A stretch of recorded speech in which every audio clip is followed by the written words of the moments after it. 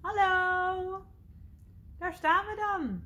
In een heel leeg schoolgebouw. Dat is gek, toch, juf Sandra? Ja, hartstikke gek. Helemaal geen kinderen hier. En eh, ja, we zijn wel heel hard aan het werk voor jullie. Maar eh, geen kinderen hier. Nee. Heel stil. En zoals je ziet, we staan eigenlijk wel iets te dicht bij elkaar. Dat weten we ook en dat realiseren we ons ook. We gaan zo meteen weer eh, weg.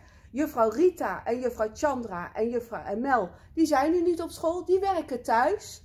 Maar we willen dit toch eventjes eh, helemaal aan jullie laten zien. We zorgen dat jullie maandag weer werk krijgen.